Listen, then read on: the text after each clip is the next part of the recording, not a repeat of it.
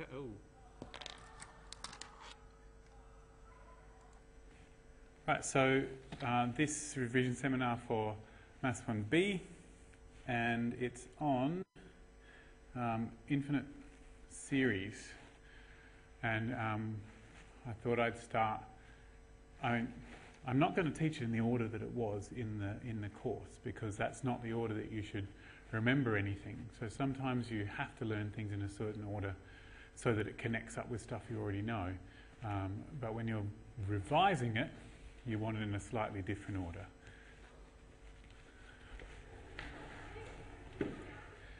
Uh, so I'm going to put it in the order that I think that makes sense to me.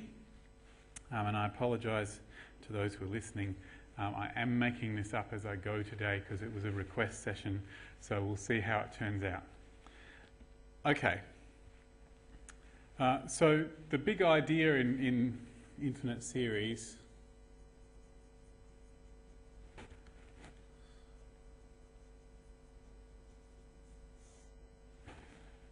uh, is that polynomials are the best sort of function because they're easy to calculate, uh, they're easy to differentiate, they're easy to integrate, they're easy to write down, and we can represent them inside a computer with just a string of coefficients. It's all lovely. Um, and um, we know a lot about how polynomials behave. So when we see a polynomial function, like 1 plus x plus x squared, um, we can very easily figure out what it ought to look like. Because it's quadratic, it has a certain expected shape. Um, and so if we can write everything in terms of polynomials, um, then life will be easier. And so the purpose of Taylor series and Maclaurin series is to do that. Uh, and however, some functions aren't polynomials, like sine, for example, isn't a polynomial. e to the x is totally not a polynomial. Um, and so if we want to represent it as a polynomial, we're going to have to use infinitely many. So instead of just 1 plus x plus x squared, we're going to have to have an x cubed and an x to the 4 and, a, and forever to try and figure out what this is. Okay, that's the concept. So um, right. So uh, some functions can be represented as infinite series, um, and so a decent little um, foray into infinite series as objects in their own right, how do they behave, is a good thing to do before we want to represent other things using them.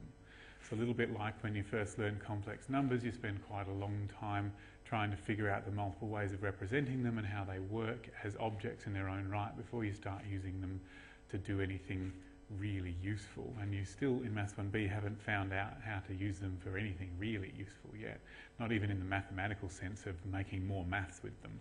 Uh, so, um, and same with fractions. We learn to represent fractions in multiple different ways, and we spend a lot of time learning how to add them and subtract them and stuff before we got a good handle on using them to do stuff.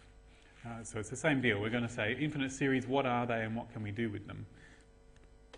So this is the general way of writing one down.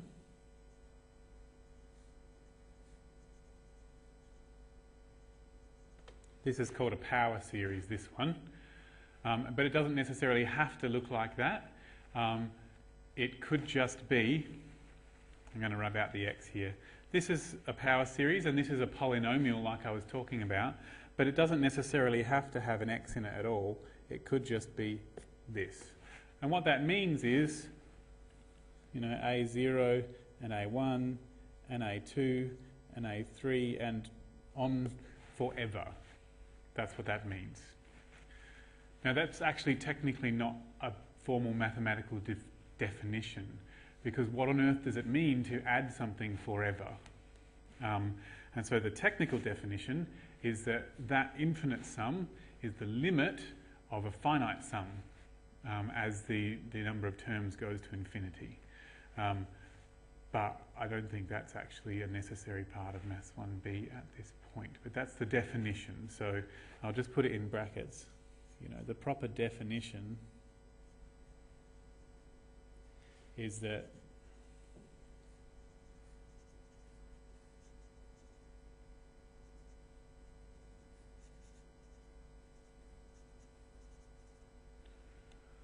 it's this. So it's the, the limit as n goes to infinity of a1 up to an. And so you basically say, well, I can figure out a formula for what it adds up to if I use capital N of these terms. And that formula, if I do the limit of that formula as capital N goes to infinity, if that limit exists, then that's what the infinite sum works out to be.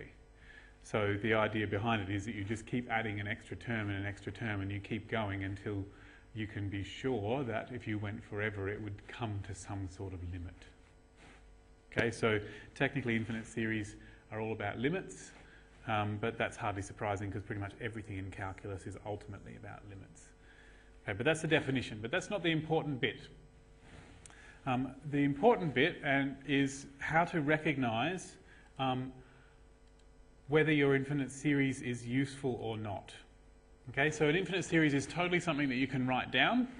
Okay, you can write down an expression like this with whatever formula here. This an is a formula in terms of n um, or i.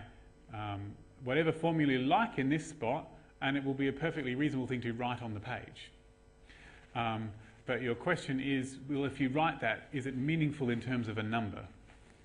Um, and so we've got this, now we've got this object which is just a, a, formal written statement on a piece of paper and we can do stuff with it. And sometimes it represents a number and sometimes it doesn't. And that's going to be really important for us to be able to um, use them in order to represent functions.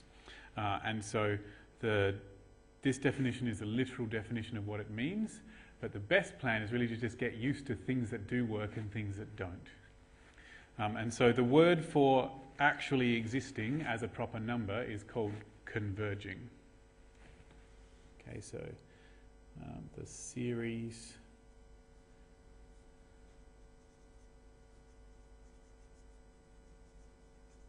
is said to converge if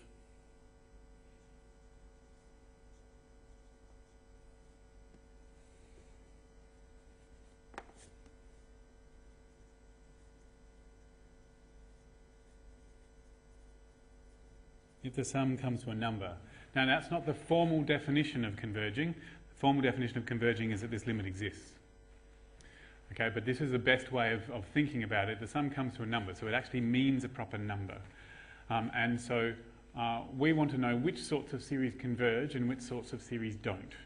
And so what we have is a nice list of tests for convergence.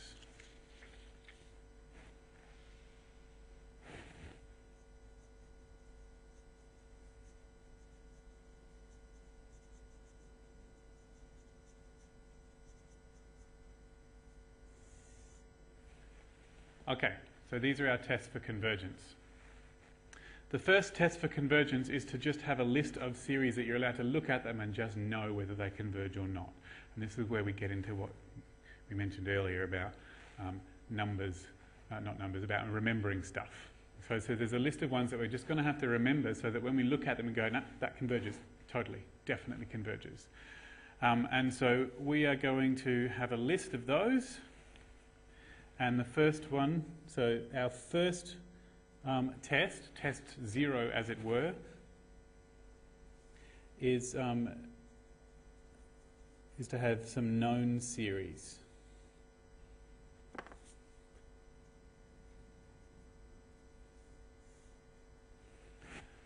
Okay, so the first known series is called the harmonic series.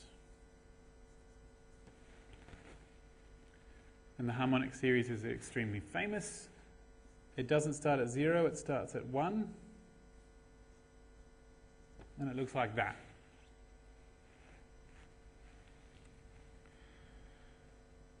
Technically, anything that has something linear on the bottom um, will is also harmonic.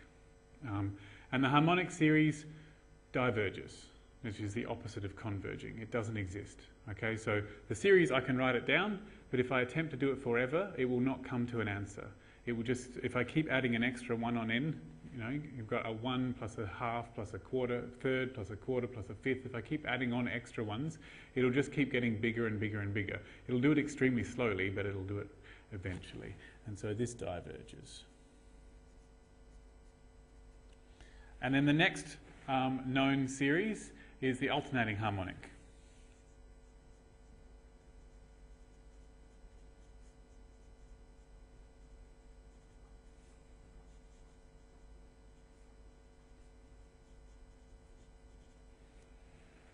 Uh, sometimes you'll see it with an n plus 1 up there in the power. Doesn't really matter. As long as um, the minus 1, it switches from plus 1 to minus 1 as you go. It doesn't matter. It's still one of the alternating harmonic series. And the alternating harmonic series converges.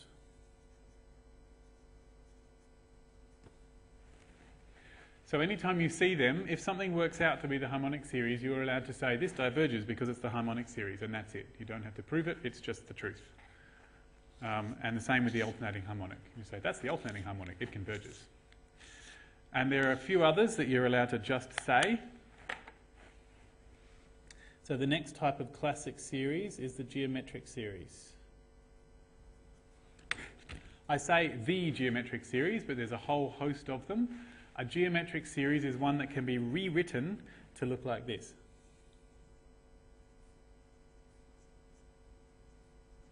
Put that in brackets for a reason. So a geometric series, you can rewrite it to have something to the power of n, and that something is usually called x, but often it will be some sort of formula inside that brackets. So if you can rewrite it like that, it doesn't have to start at n equals 0 in order to know whether it converges. Um, but it does have to start at zero for you to know what it adds up to. So um, the geometric series, um, if the size of what's inside that bracket, the absolute value, is less than 1, then it converges. And if the size of what's in brackets is greater than or equal to 1, then it diverges. So that means there's actually two different kinds of geometric series.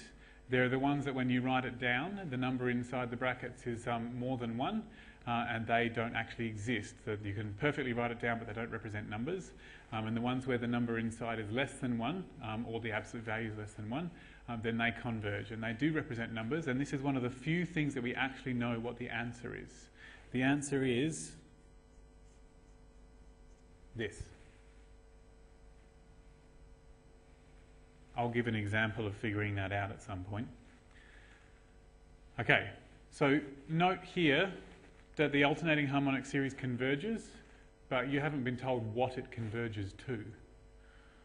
I'm pretty sure it converges to like ln2 or something like that, but I can't remember exactly off the top of my head. Um, but yes, the alternating series does actually converge, but you haven't been told what number it converges to. Geometric series when it converges, you actually have a formula that tells you what it converges to, what the actual answer is. And that's quite rare with infinite series. Okay, if you just pick a random infinite series with just some random expression next to that sum sign, it will be almost impossible to tell what it actually converges to just by doing a formula. So if your lecturer says, find the sum, these infinite sums, you can almost always guarantee that that's because they're geometric series because we don't know how to find them in any other way, at least not in Math 1b. Okay, and there are a couple of others that you are supposed to just know um, because of other information. Um, there's ones they're called P series. Pretty sure that's what they're called. Just give me a second to look that up. Yeah, I just had to look up the right terminology from the lectures. It's called a P series. could spell series right. A P series is what I call a power of the harmonic series.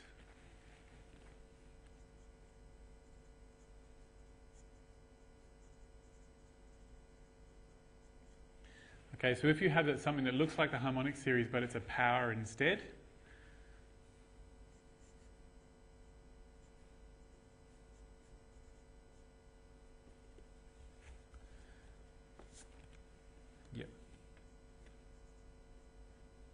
something like that, 1 over n to the power of p.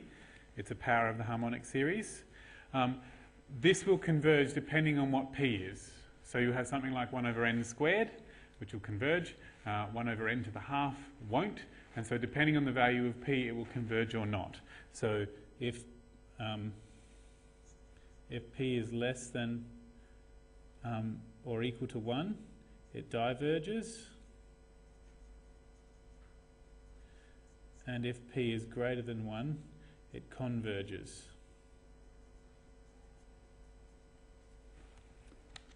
So just so that you've seen a proper example of that, rather than a, just a formula. So for example,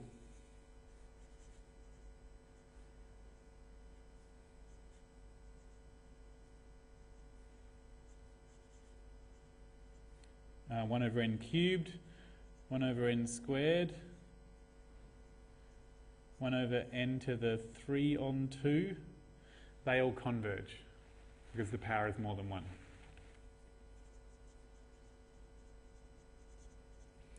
But 1 over n, we already covered that one.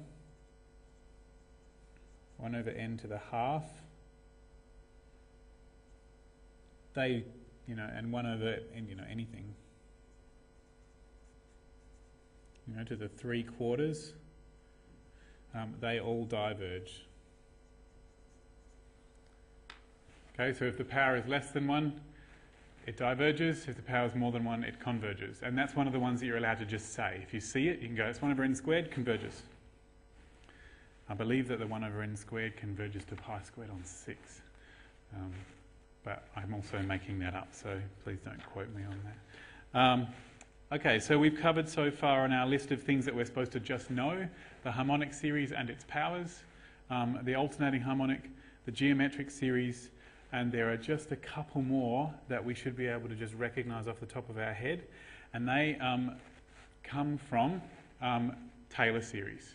Okay, so there's a couple of, and, and Taylor series are a specific way of getting an, a, a, a, function and rewriting it in terms of an infinite series. If you have, if you're revising Maths 1b after do, doing it, you should know this by now. Um, but if you're using this seminar to study Maths 1b for the first time, it's coming soon. Um, so um, when you do um, Taylor series or Maclaurin series, there's a couple of them that you're expected to just know and you can just stare at them and go, cool, that's the answer. And so we have the Maclaurin series.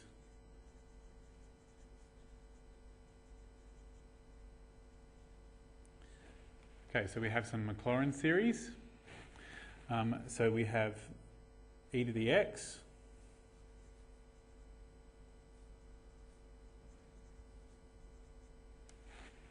So if you see the sum of 1 over n factorial, you know it's e to the 1. Okay, because it's 1 to every power. Okay, so if you see something with just a plain number on the top, if you see something like 2 to the n over n factorial, it's e squared. Okay, so you were allowed to just say that, you know. Okay, because it's a Maclaurin series. Unless, of course, they specifically ask you to prove it, and then you have to do Taylor series or something. Um, but those are sort of things that you're supposed to just know. Um, and I believe you're supposed to, I'm not sure 100% about whether you're supposed to remember the sine and cos Taylor series, um, but it is actually possible to remember them. So I'm just going to write them in here anyway. Um, but past lecturers, depends on the lecturer. Some lecturers expect you to remember it and some lecturers don't. But certainly, second year engineering maths lecturers totally expect you to know them. Um, so it's good to start now.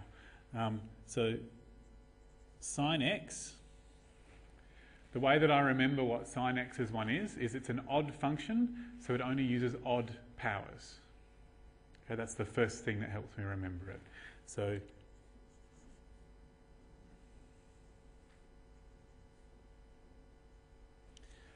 Um, and it uses the same powers that e to the x does, but only, use the, only uses the odd ones. And so what we're going to do is we're going to put in, instead of n, we're going to put in 2n plus 1 so that it comes out to be odd.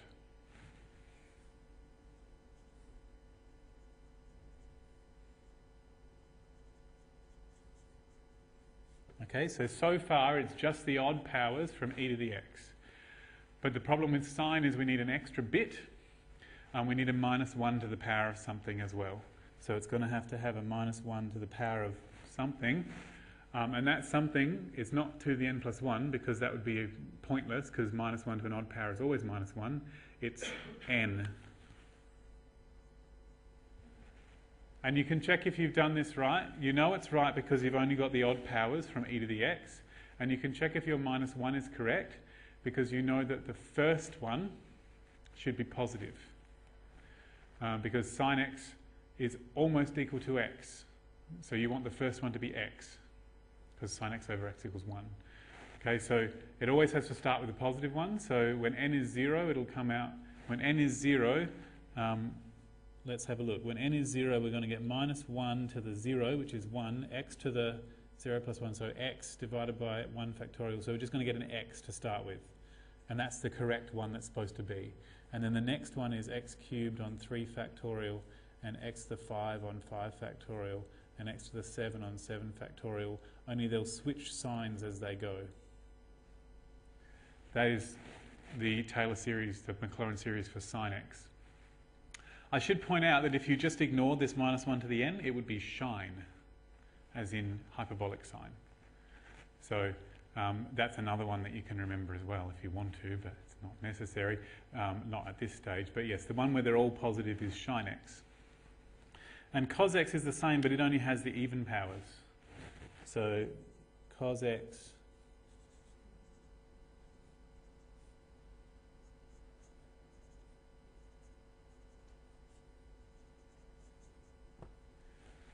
is exactly the same, but instead of having 2n plus 1, it just has 2n. So you can construct it straight up. You can say, well, I know it has the even powers, so I'll put 2n to make it even. And I know it switches between plus and minus. Um, and so what this means is it'll start at 1, because that's x to the 0. And it will go x squared on 2 factorial, x to the 4 on 4 factorial, x to the 6 on 6 factorial, and it will switch plus, minus, plus, minus, and so on. That is, um, whoa, that 4 is crap. Um, still not that much better, but it'll do. Uh, so cos x has the um, even powers from e to the x, but it switches between plus and minus. And again, if they're all positive, it's actually cosh. And there is one more series that you're expected to just know. I'm really not sure about this. I mean, even when I was in first year, it sort of wasn't examinable, but they do mention it, and so it's worth mentioning now. It's the binomial series, they call it. Um, so I'm going to put it on this list just so that you can, you know, because it is not, un, not unheard of for them to say using the binomial series, blah, blah, blah, okay, and you're allowed to just write down the answer.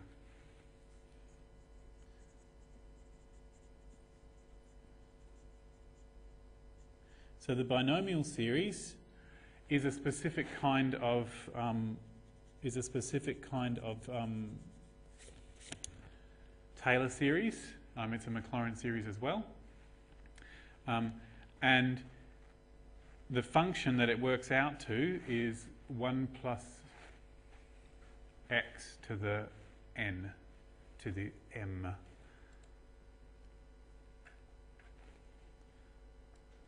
I'm just gonna look it up just to make sure that I'm using the right terminology.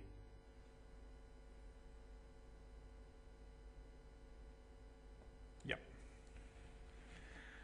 Okay, so 1 plus x to some power, and it doesn't matter what that power is, it doesn't have to be a whole number, it can be a fraction as well.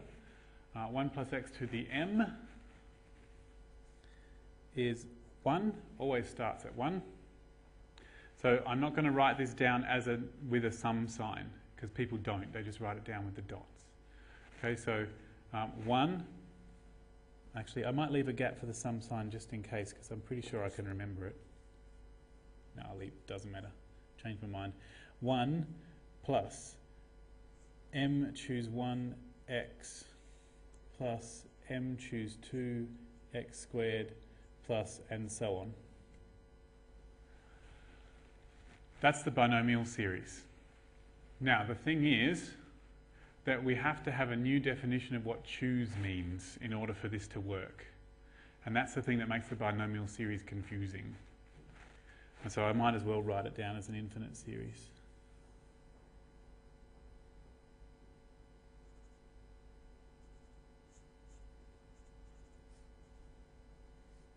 I mean, that's what it is. Okay, so this series, um, the thing that makes it tricky is that it's not so much that you're going to be looking at this one and noticing that that's what it is, it's more the other way. but it's good to know that they work both ways. So, um, I just want to point out that this will only work if you redefine what m choose n means. Okay, so um, the definition goes like this.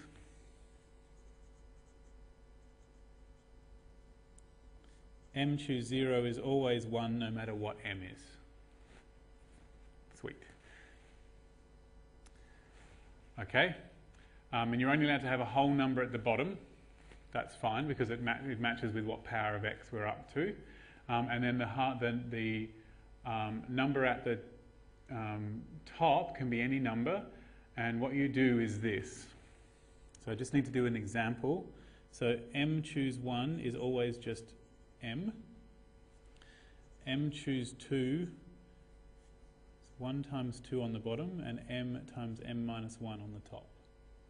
And m choose 3 has 1 times 2 times 3 on the bottom and m times m minus 1 times m minus 2 on the top. And the pattern continues. So basically what you do is you do 1 times 2 times 3 times up to whatever the number on the bottom is, and on the top you start at m and you work your way down instead. And this works even if m is a whole number, and it's a much more efficient way of calculating it than with the factorials. Um, but it works also if it's a um, if it's a fraction. Okay, so that is the binomial series. So you know, etc. Right. So these are all of the ones that either in the you see the series and you just know what it adds up to and whether it adds up, um, or you see you see um, the function and you want to turn it into a series. So they work both ways. And might not have been the best idea to do this now, but you know I'm organising it in this order at the moment.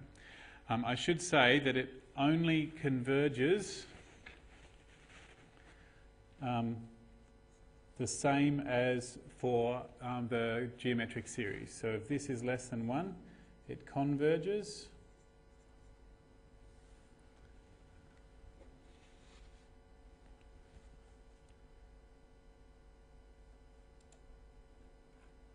And uh, if it's um, greater than 1 it will diverge.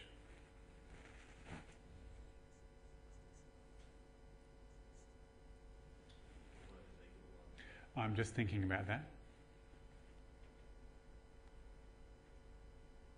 Conceivably, I think if it's equal to 1 it will diverge as well. I mean, this totally exists when x is equal to 1, but that's not the point. It's if this is exists. Um, but if, if m is equal to 1, we'll just get 1 plus x plus x squared plus whatever. Um, sorry, if x is equal to 1, um, we'll get m choose 1, m choose It'll just keep getting bigger and bigger and bigger. Yep. So I think that it's the same. It's the same as for the um, geometric series. And in fact, the geometric series is one of these binomial series because what you do is you replace x with minus x and the m is minus 1 and you get 1 over 1 minus x. And so the geometric series is, is one of the versions of the binomial series. And that's a classic tute question, like assignment written question to, uh, it doesn't usually happen in an exam, um, but it's a classic Maths 1B assignment question to, to get you to notice that connection. I think it's one of the Maple TAs actually. Um, you do something like that, and it turns out to be the, the um, 1 over 1 minus x. Okay, so let's just see where I've got. Um, I've got my, so far I've just got a list of known series. Now some of them, the first several, um, on this first page, these are the ones that will come up if you've got, just got a random series with an infinite sum, and these are the ones that are likely to just appear at some point, and you'll go, Oh, okay, cool. I know what that is. It's a geometric series, the x is less than 1, totally converges. Um, on my second page, these are Maclaurin series that you're supposed to know. And it more works in the other direction, where you can just go, here's a function and this is, this is a, an infinite series that happens to come out to that. Though in some rare cases you will see something that looks like this, you'll see 2 to the n over n factorial, and you're allowed to say that converges because it's, because it's the Maclaurin series for e to the x when x is 2. So Yes, there you go. So these are all the series that we have to just know, um, Maclaurin series or just random series. Okay, so before I move on from that, I'm going to just have a quick look at um, geometric series as some examples of how to deal with them um, before I move on to the other um, tests for convergence. So, um,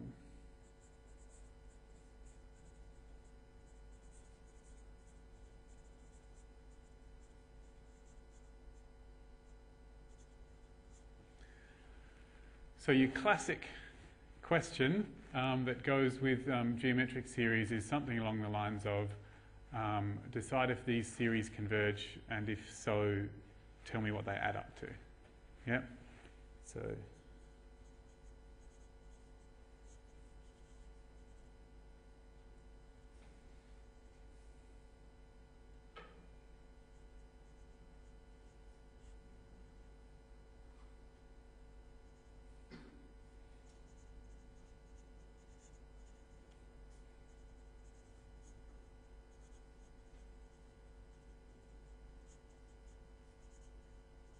So decide if that series converges and find the sum if it does.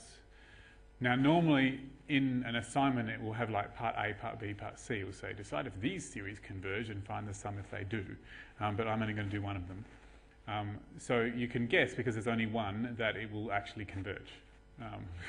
Because um, otherwise, what's the point of asking the question? Um, but sometimes it won't. So, one of the clues um, for this one, for knowing that it's in the category that we've already got in this known series category, is we look at it and we say, actually, interestingly, it's number to the power of n. Like a number to the power of stuff with n's in it. Okay, it doesn't have anything other than numbers to powers. Okay, so your harmonic series has the n all by itself. It's not part of the power in the harmonic series. Your harmonic series has an n here, so um, and this one has an n to a power. They're not the power the unknown, the n, is not in the power in these ones here. The only one of my known series where the n is in the power is this. And in fact, the n is only in the power. So if you look at a series and you, and you notice that all of the n's are in the power, it's a good chance that it's actually a geometric series. So that's your first clue. And so what we need to do is we need to attempt to rewrite it as something to the power of n.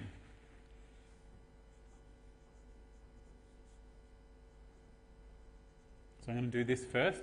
I'm not going to do it with the sum sign because I don't want to keep writing my sigma over and over. So I'm just going to take the, the individual terms and I'm going to rewrite them so that there's something to the power of n, or at least close enough. So let's have a look at this. The 3 to the 2n can be rewritten as 3 squared to the n. Like that. So this has already been written as something to the power of n. The 2 to the n plus 1, not nearly as easy, but I can at least remove the 1 by doing this. That's the same as 2 to the n times 2 to the 1. Because plus up in the powers is times down below. Okay, doing well. So that 2, that's 2 to the 1, I'm to, that's going to be left all by itself. So I'll pull that out the front. And what I have left is 2 to the n, 3 squared to the n. They both have a power of n, and powers can be brought out over division.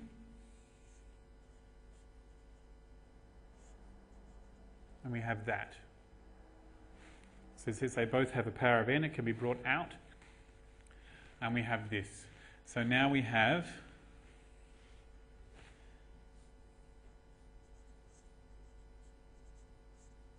this. So you'll notice that we've rewritten it as number times number to the power of n. And so we can have our, um, our geometric series now.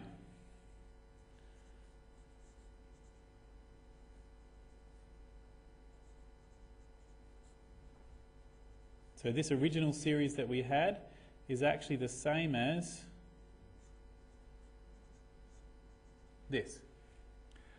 And if we're very clever, well, we can just pull the 2 out the front.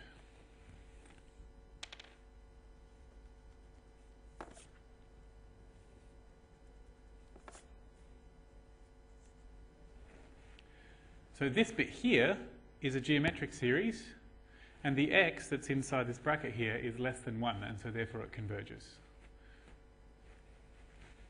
So we can say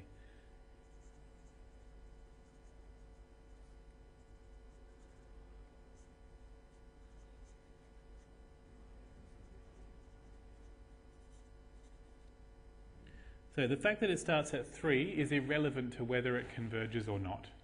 Okay, so where it starts, this one starts at 3, um, that's irrelevant to the fact that it converges. Um, it's all to do with what's next to here, where it starts.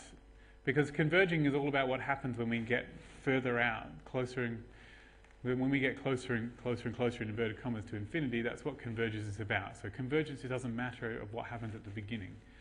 Um, but it does make a difference to what it adds up to. So, if all they asked was, does it converge? Well, I've got that because I've converted it to a geometric series and the bit inside the brackets is less than 1. However, we need to know what it adds up to. And the problem is that the formula for what a geometric series adds up to only works when the n is 0.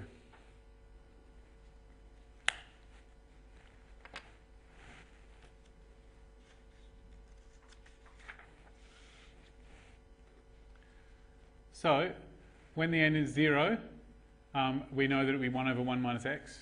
But the n isn't 0, it's 3, so we're going to have to shift it over so that it is 0. So we're going to do that clever trick.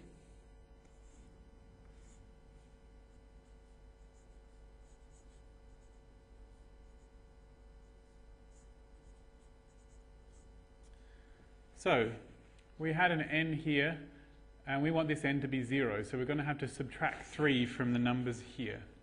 So my n equals 3 is going to have to come down to 0, my n equals 4 is going to have to come down to 1.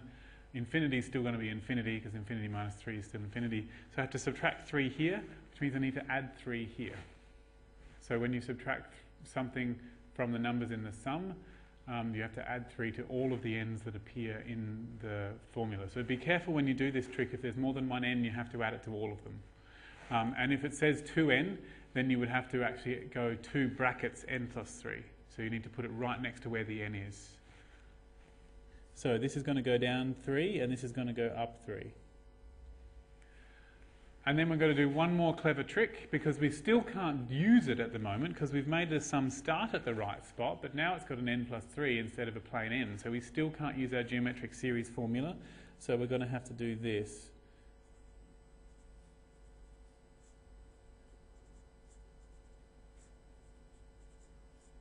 Like that. And now we can bring this all the way out the front.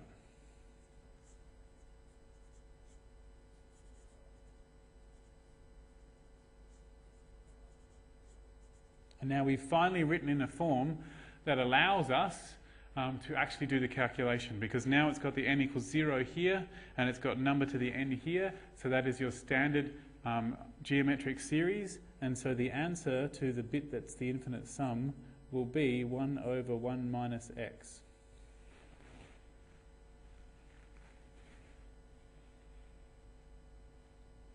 Not pretty, but there it is. Um, if you want to make it look less um, horrifying because most people, mathematicians included, do not like fractions within fractions, I find the easiest way of dealing with a fraction within a fraction is to I know that if I multiplied this 2 ninths by 9, I would get a number, 2. So if I multiply the top by 9 and the bottom by 9, it will make the fraction within a fraction go away.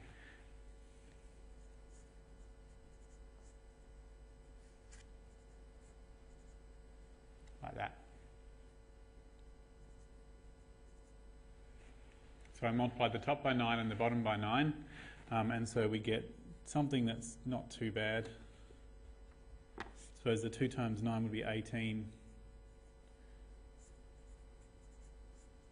and that would be, and that's close enough. I wouldn't do anything more than that. It's, it's, it's good enough. You could technically figure out what 9 cubed is, but really, do you want to? And the answer is no. Um, so that's pretty close. But um, it's usually bad practice to leave a fraction within a fraction. Most mathematicians don't like that. So good to just multiply the top and bottom by the denominator of the bottom. And I find that the quickest way of dealing with that. Um, some people will try and put this over a common denominator and, and then flip it over, but there's so many places you could go wrong with that that I quite like this version better. Okay, so that's actually finding one and figuring it out. If, of course, at this stage when you had it, it came out as, say, 9 over 2, you would say, well, it's geometric with the inside greater than 1, so it diverges and you'd stop. Okay, so that's an example of using geometric series to tell if things converge. And then there are three or four tests for convergence. And the tests for convergence go like this.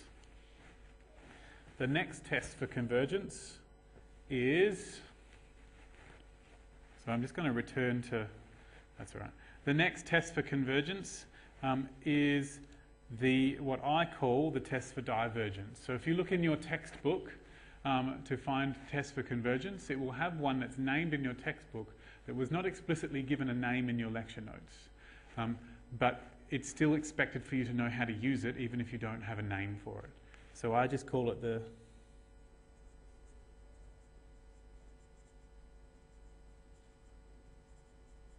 test for divergence. So the test for divergence goes, if you have an infinite sum like this if the limit as n goes to infinity of a n is not 0, then it diverges.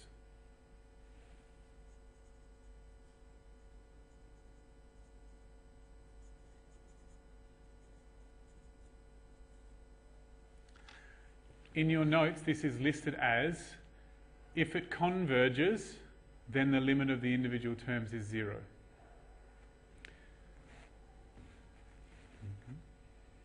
If it converges, then the limit of the individual terms is zero. The problem with that version is that lots of people think that all they have to do is to check if the individual terms is zero and then it converges, and that's not true. Okay? Um, what this test is telling you is that what you do is you check if the individual terms go to zero, and if they don't, then it diverges. If it does come to zero, then it doesn't tell you anything. Okay? So I'll just point that out. If the limit as n goes to infinity of an is zero, this tells you nothing.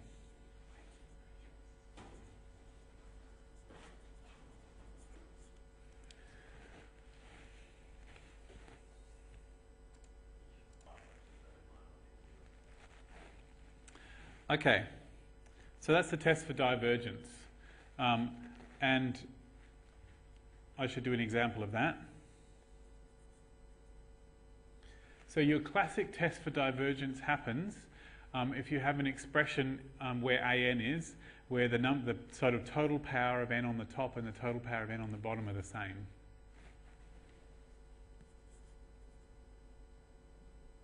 Oh, this could start at zero. It doesn't actually matter what number it starts at. Um,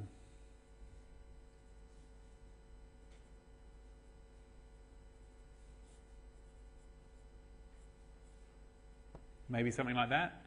n squared plus 3n over n plus 1 all squared. So my clue that this is a test to see if the individual terms go to zero situation is to see how the powers match up. Okay? So the fact that the top has got an n squared and the bottom, if I expanded it out, would also have an n squared is telling me that, that this is not going to come to zero. Um, and so I don't need to do, use any of the other fancy tests, pardon me. Um, it's totally not any of the normal series that I'm looking for. It doesn't have a factorial in it, it's not 1 over n. So I can't use any of my classic series, which is the first thing to try. And the next thing is to think, do the individual terms go to 0?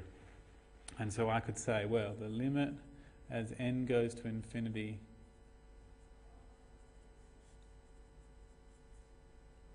of the individual terms. I'm not dividing them by anything, I'm just doing it straight up. Um, and when you do a limit as n goes as something goes to infinity, the traditional way of dealing with it is to divide the top and bottom by the biggest power of n that you see.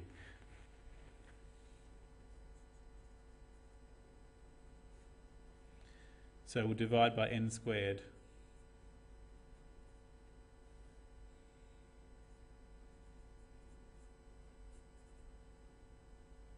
Okay, so I divided the top and bottom by n squared.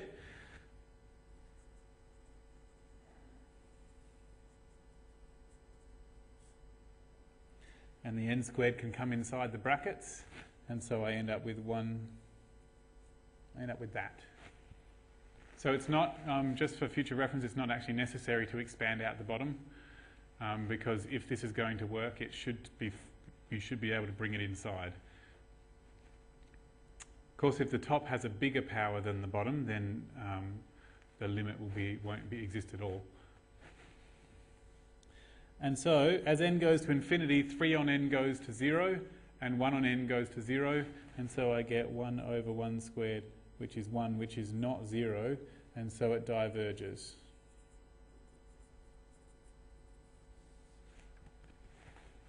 So, the limit doesn't have to not exist. Um, some people have this belief that it should come out to infinity, but it just has to come out to anything other than 0.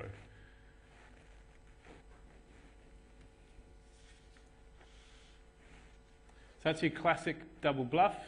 Don't attempt to do any of the fancier tests.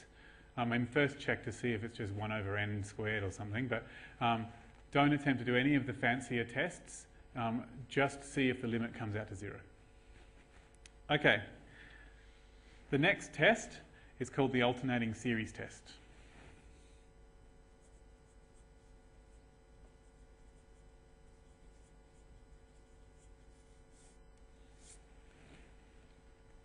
Oh, I should say that if you have factorials in the expression, it'll almost always converge. So this is, don't, if there's factorials there, don't try and do this test for divergence.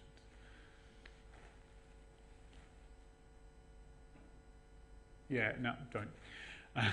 okay, so the alternating series test, you start with the test for divergence, and you do that first.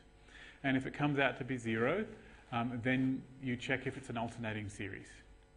Okay, so the alternating series is specifically for series that involve a minus 1 to the n in one of their terms. So basically you've got something like this, but your an is really minus 1 to the n times something else.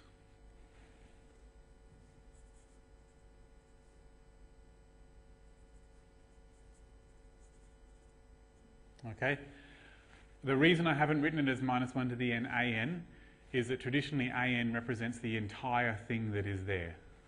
Okay, so I've just said that it's possible to look at this and pick out a minus 1 to the n. You don't need to be able to rewrite it um, technically, you just have to stare at it and go, oh, there's a minus 1 to the n there. It's an alternating series. Okay, so if you see a minus 1 to the n, that's when you should start going, ooh, alternating series, cool. First, when you do the alternating series, you first have to do the divergence test. Okay, so first, so the alternating series test um, has three parts. So part one is check it is alternating, meaning it includes a minus 1 to the n. And you've done that before you even started the test, so, but that's technically step zero, I suppose. Step zero. Step one is check that the individual terms go to zero.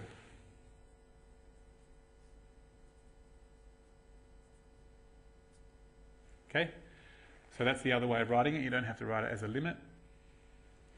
And step two is check that at some point, it doesn't have to start this way, but at some point, at some place as, with, with some n, every n after that, the, series, the, the individual terms are strictly decreasing in size. So check that at some point,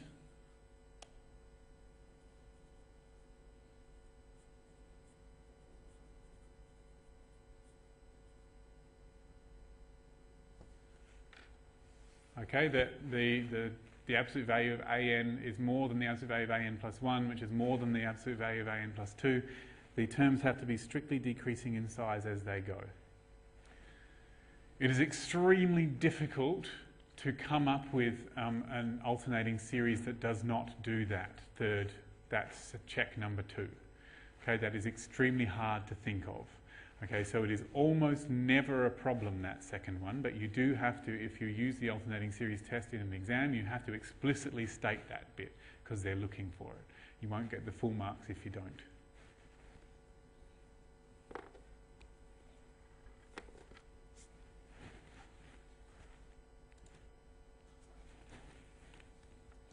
Okay, so an example of using that, just to show you what the working looks like.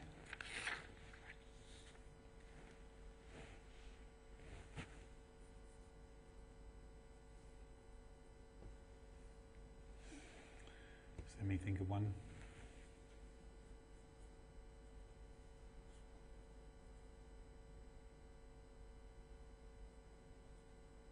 Something like that.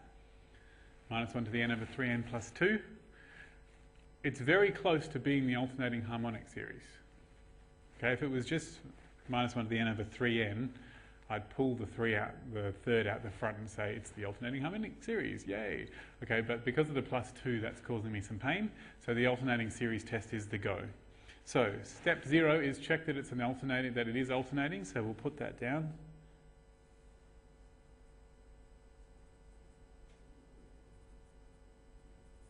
And you can just say that.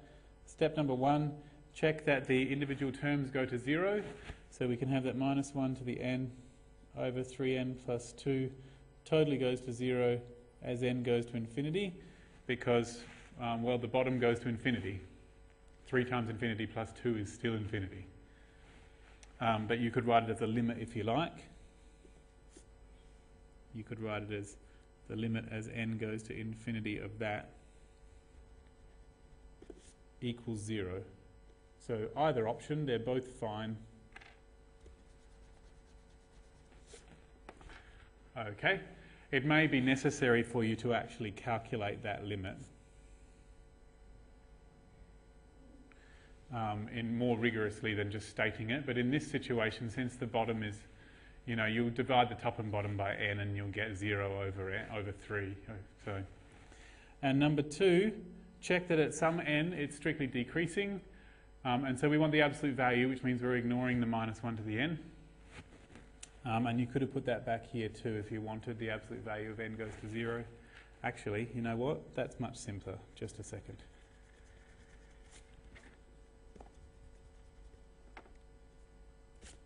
So the limit as n goes to infinity of everything except the minus 1 to the n. See, that's, that, my working is much easier then. Okay, save vital milliseconds by not writing down the minus and the power of n and the brackets. Um, and then the last thing is that this thing here without the minus 1 is supposed to get smaller and smaller as n gets bigger, which it does. And so you just have to state it. You don't have to prove it, um, usually. So um,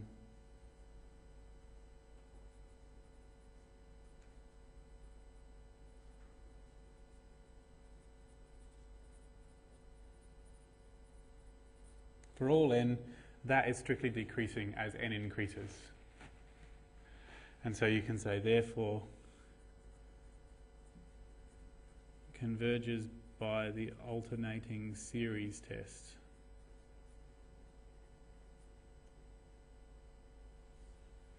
Okay, but you have to state all three of those things to be allowed to use the alternating series test. You have to say it's the, an alternating series you have to check that the individual terms go to zero, and you have to say that it's strictly decreasing at some point. It doesn't have to be strictly decreasing to begin with, just at some point later on. But usually, it is strictly decreasing straight up. Okay, that's the alternating series test. And then the last um, test for convergence um, is when you uh, use, it's called the ratio test. And the ratio test is basically comparing your series to a geometric series. When I was in first year, we learned a whole lot of other um, interesting tests as well. Um, and if you do ever do real analysis in the future, um, you will learn any number of interesting um, tests for convergence, but in Maths 1B there's only these ones. So uh, just to let you know if you're ever going to do more maths that there might be more.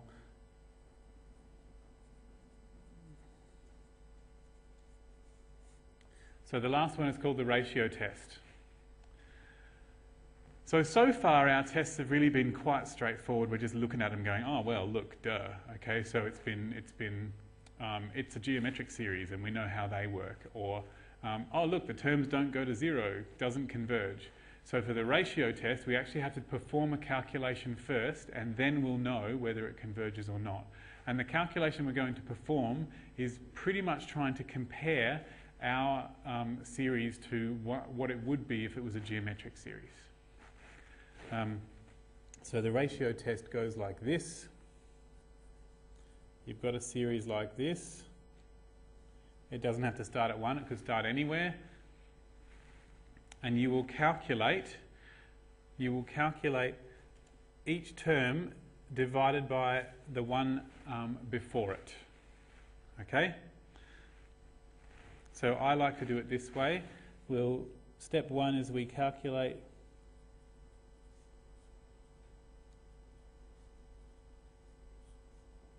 an plus 1 over an.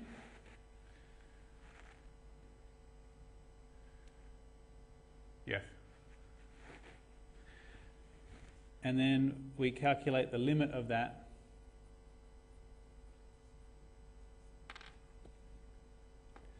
we calculate the limit as n goes to infinity of that answer that we just calculated. And that limit we will give the name L.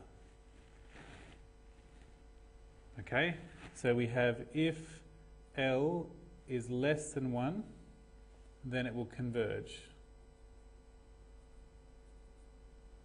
What that means is, well, if you look at it, an plus 1 over an is each um, is a term divided by the one before it. So if, if you get a term and you divide the one before it and you get an answer less than 1, that means the term is a little bit smaller than it was before.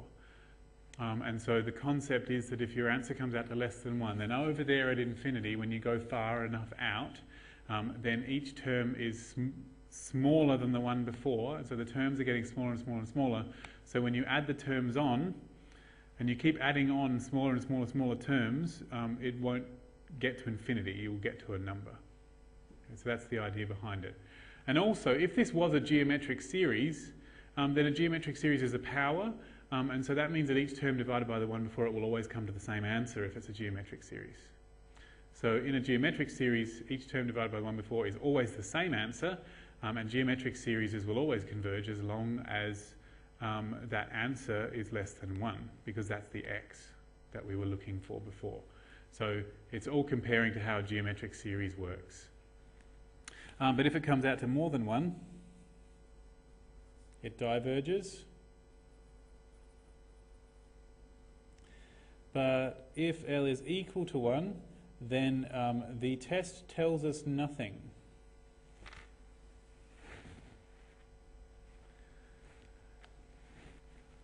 Now, if this does come out to be equal to 1, the likelihood is that what you should have done to begin with is a divergence test where you just found the limit of the individual terms themselves.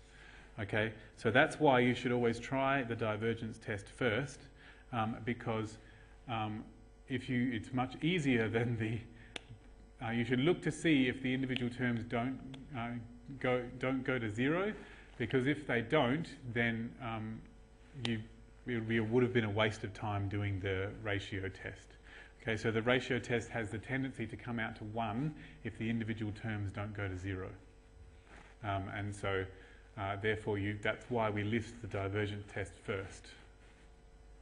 So, yeah, some people who try the ratio test on a question like this one will be sorely disappointed because the limit will come out to be precisely 1, which is sad.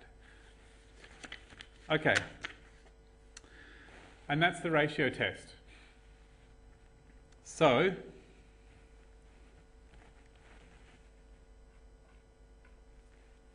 just as an example of a ratio test,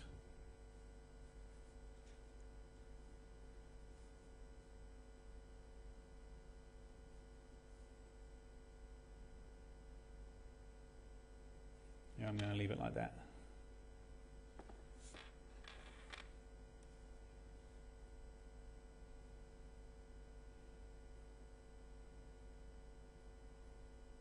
So we have n plus 3 on n squared plus 1. Let's do that one and see how it turns out. So this, um, let's just first check. Individual terms, the bottom has a bigger power than the top, so they are going to go to 0. Okay, so we should just say that aloud first before we move on.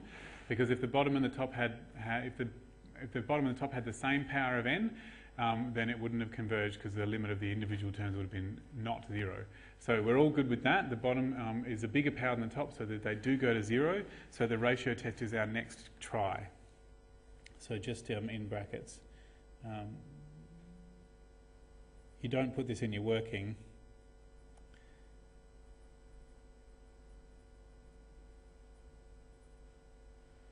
So AN does go to zero.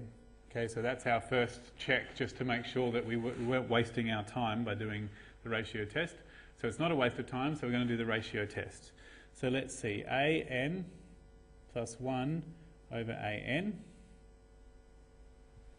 I should also point out that if this had been minus 1 to the n in front of that there, alternating series test would have done it. We wouldn't need to do the ratio test. Okay, so a minus 1 to the n in that spot, um, you go, well, bottom's bigger than the top, terms go to 0, um, they're strictly decreasing, ratio test, um, alternating series test, sweet. So good to check the other rules first. So an plus, well, we know what an is.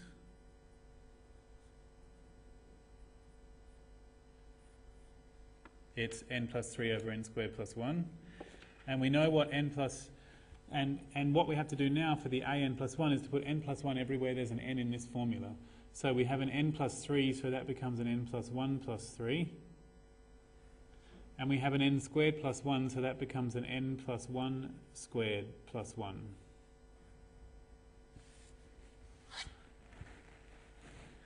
My pencil's almost gone, but good thing I have another one.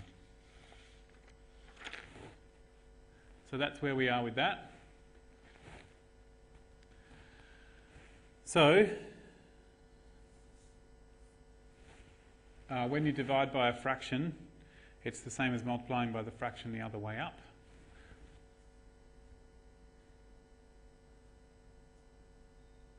Okay, so we have that times n squared plus 1 n plus 3. So my bottom has flipped up to become this, and I might as well just figure out what this is. It's the n plus 4.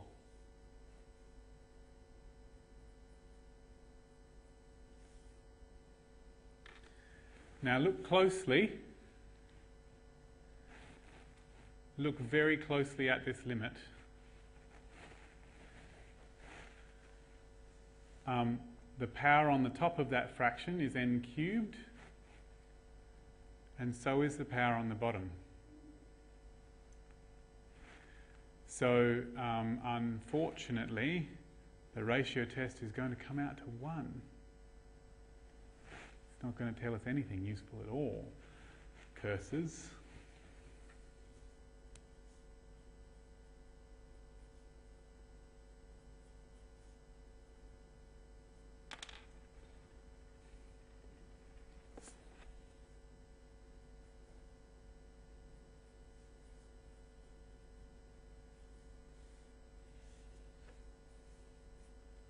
All right. So I should point out that all of these numbers are positive because n is a positive number. So at this stage I can actually remove the absolute value signs because everything's positive anyway. Um, and it just makes my working easier. So the limit of an plus 1 over an is the limit as n goes to infinity of this. Um, and so what I should do is I should divide the top and bottom by the biggest power of n that I see, um, and n cubed is actually the biggest power. And so if I divide the top by n cubed, if I divide this one by n and this one by n squared, that would be n cubed in total. So I can just do it one part at a time. These both have an n squared, and I can divide them by n squared, and these both have an n, and I can divide them by n, and I can see what I get. So this one divided by n is this, and this one divided by n is this. This one divided by n squared is this. And this one divided by n squared, um, we'll get a 1 on n squared here. And then the n squared will come inside that square to become an n, and we'll get 1 plus 1 on n there. And so we're going to get 1, 1, 1, we're going to get 1. So the ratio test tells me nothing. Cursors. Um,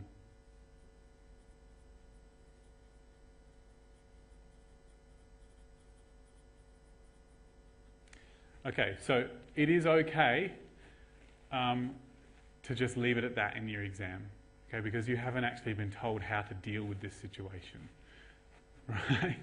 Um, sorry? No, but this is, there is a more appropriate test, but you haven't learnt it, so this is the best that we can do. Um, actually, if you watch very closely, um,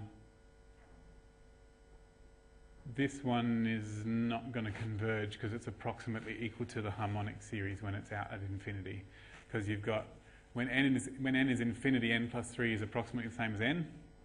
When n is infinite, when n is like huge, n squared plus 1 is approximately the same as n squared.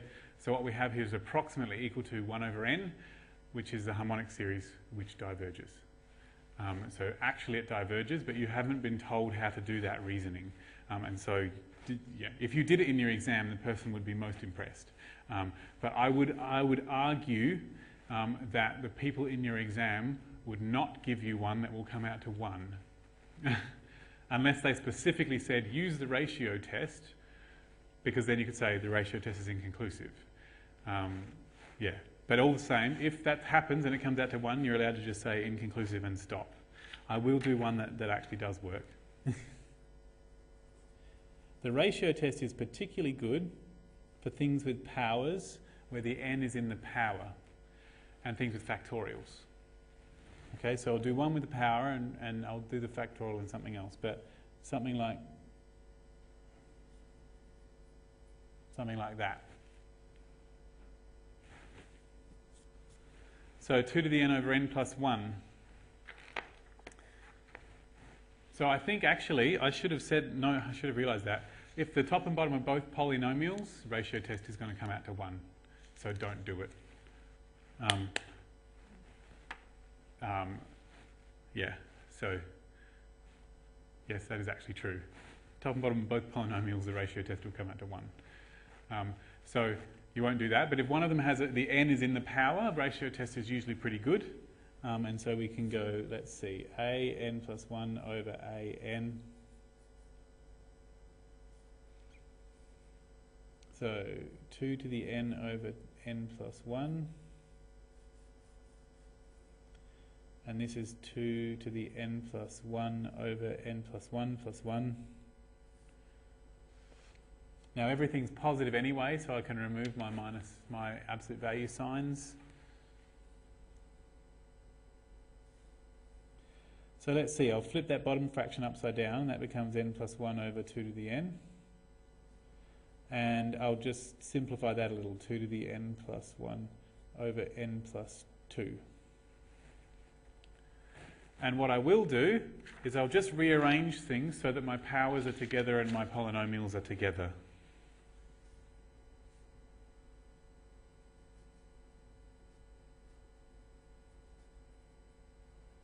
Like that.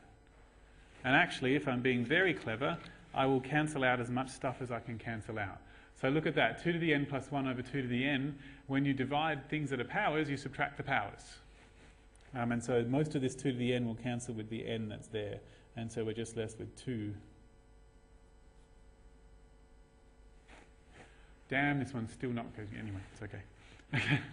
um, and so when I do the limit now, the limit as n goes to infinity of my a n plus 1 over a n is the limit as n goes to infinity of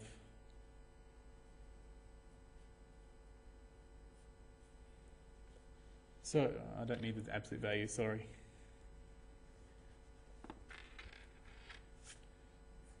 The answer I just got. The 2 can come out.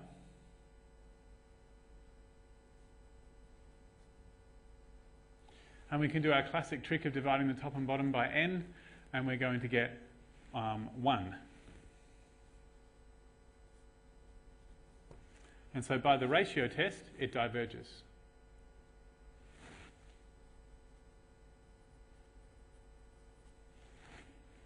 Because this limit comes out to 2, which is more than 1.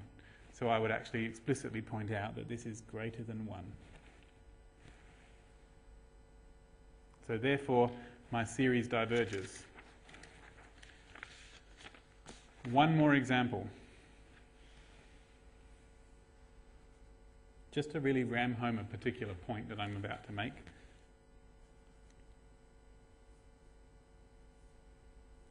Oh, oh, um,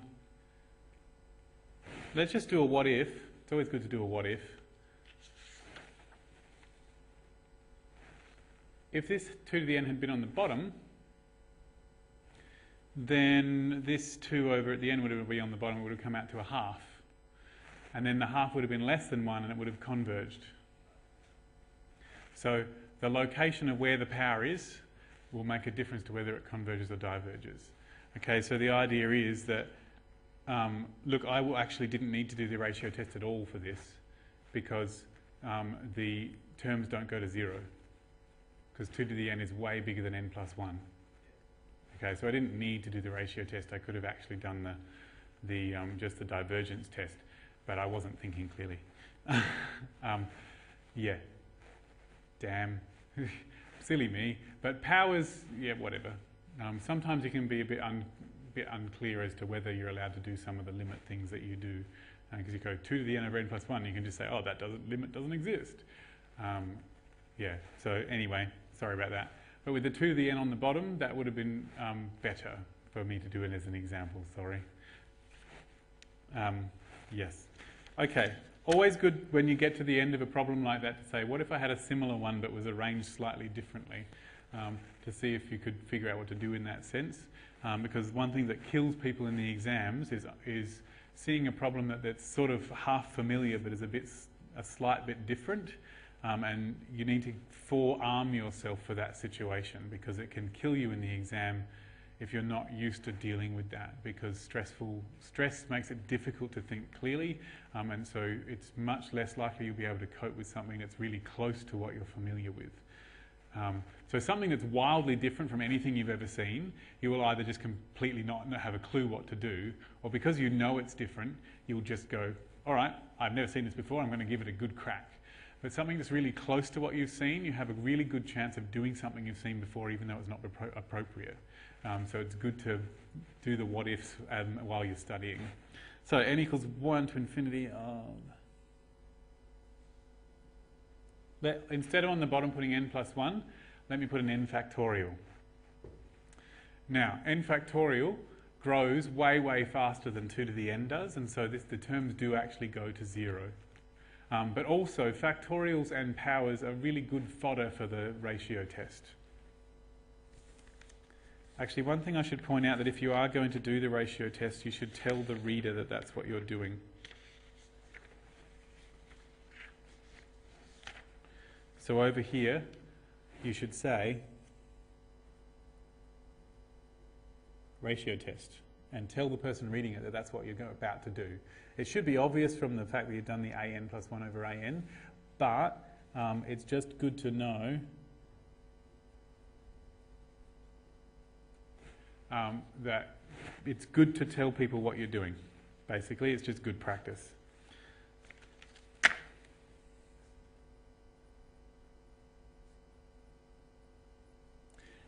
especially if you actually went through your exam and there were several of these, you could just write ratio test. And even if you never got back to it, um, even if you never got back to that question, you might get like half a, well, a mark for knowing, for writing down that it was a ratio test, even if you never got, came back to this question. So it's always also from that perspective good to write it down. So an plus 1 over an. So 2 to the n I see, I always get confused if I don't do the bottom first.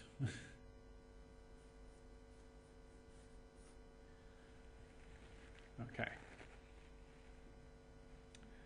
I'm just going to change the question slightly and put a minus 2 there, just so I can show you what happens with negatives.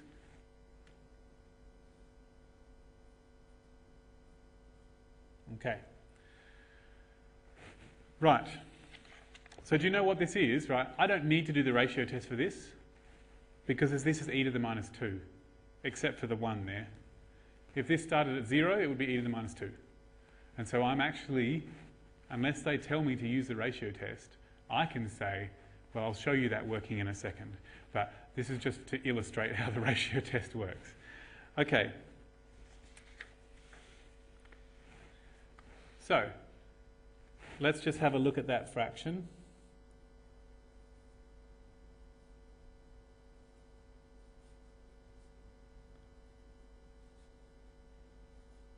Okay, so I flip the bottom one up the other way.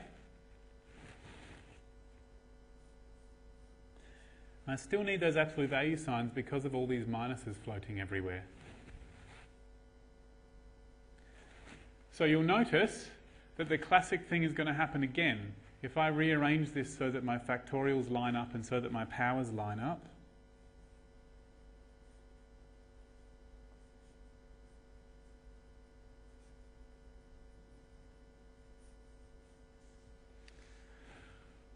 okay? Um, you'll notice the same thing happens again. Um, the minus 2 to the n will cancel with that minus 2 to the n and leave me with a minus 2.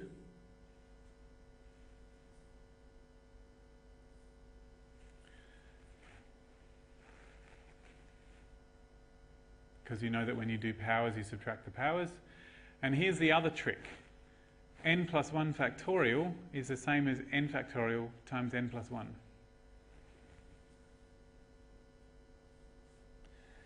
n plus 1 factorial is n plus 1 times n times n minus 1, uh, 1 times 2 times 3 times all the way up to n plus 1.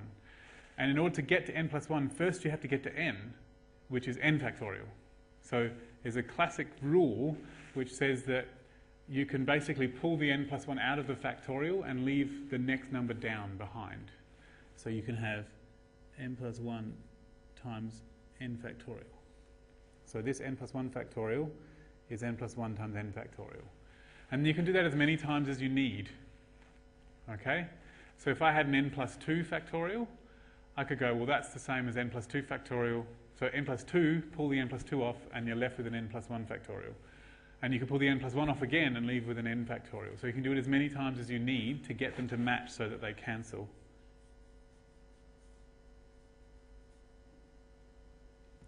So in, uh, in the end, the, the absolute value will wipe out the minus that's on the 2, and I'm left with 2 on n plus 1.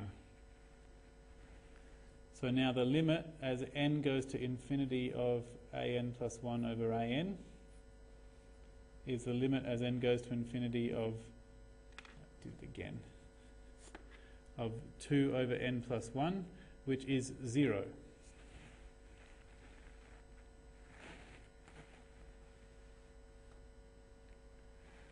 And 0 is less than 1.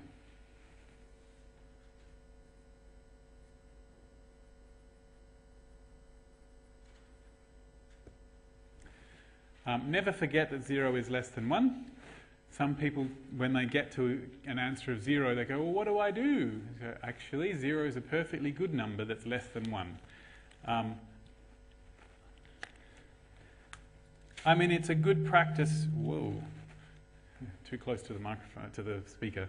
It's a good practice um, to treat zeros slightly differently sometimes, um, because sometimes things do behave differently when they're near zero.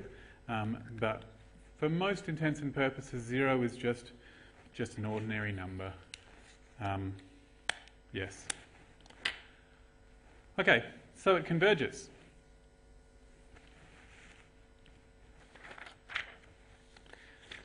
Right, I'm just going to point out that alternatively I could have done this working instead. Or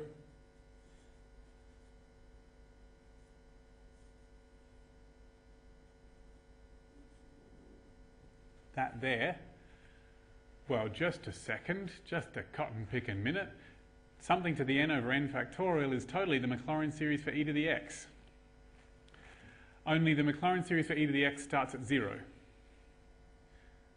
So I've got two choices. I could try and shift the n to make it 0.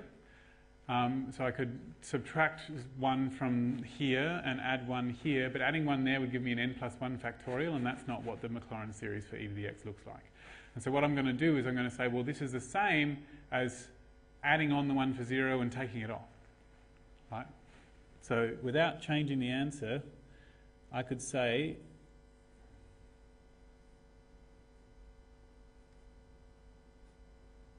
So I've included the one where n is 0, and then I've also had to take it off.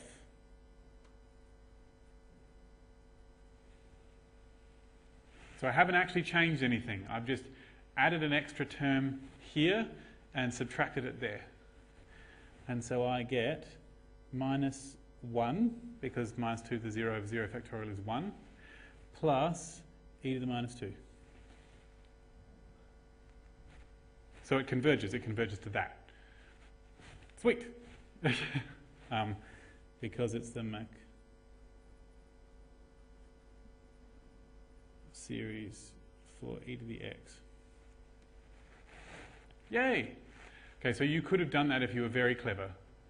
Unless, of course, they expressly told you to use the ratio test, and then you should use the ratio test. Um, but you can say this is part, you could even say this is, this is part of the Maclaurin series for e to the x, and so therefore it must converge and that, that's usually enough. But I reckon that if it's going to converge, you might as well say what it converges to. So it converges to 1 over e squared minus 1. Awesome. Beautiful. No. Ratio test does not tell you what the actual answer is, it just tells you that it converges. But to be fair, um, the question didn't ask, you know, most of these questions do not ask you to find what it converges to. It just says, does it converge? You know, and so we can say, you know,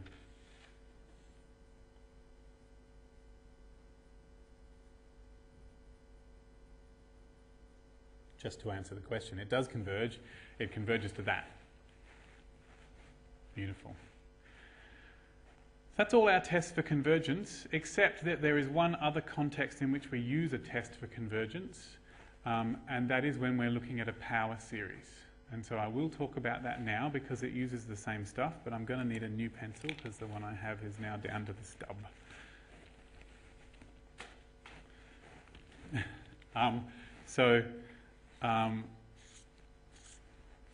a power series is in a sense an infinite number of series all at once.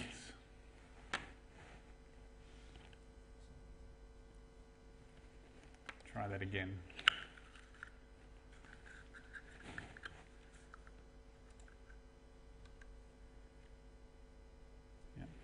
So a power series um, is a series, but instead of being just plain numbers and n's, it's also got x's in it.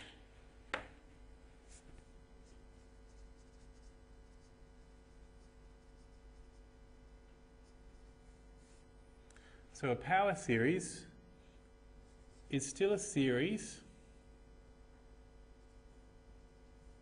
Traditionally it starts at zero for a power series.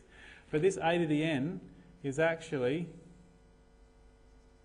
something times x to the n. In fact, it might be something times x minus like that. Okay, so it doesn't just have to have an x to the n, it could be x minus a to the n for some number a. That's a power series. And the idea behind a power series is to be a polynomial. Okay? It, the idea is if it was bn x to the n, it would be a polynomial, but instead of stopping at x to the 5, it just keeps going. Um, and our question is, is that for some values of x, if we pick a particular value x and sub it in, it becomes an ordinary series. Okay, because it's just got n's and numbers in it. So if you pick a particular value of x, it becomes an ordinary series, and that ordinary series may or may not represent an actual number. It may or may not converge. And so different x's might make it converge, and other x's might make it diverge, um, and so sometimes it'll converge and sometimes it won't. So there's many ways of thinking about power series, and one of them um, is to think of it as a function. Okay, it's totally a function. If you put x in, it will produce an answer, but sometimes the answer is a number, and sometimes the answer is this does not exist. Okay, so um, in a way, it's a function where the domain of the function is decided by whether the series converges or not. So I often like to think of a power series um, as doing this.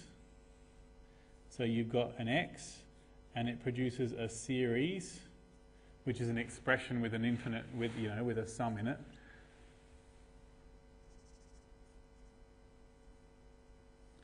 And then your series either has converge or diverge, right?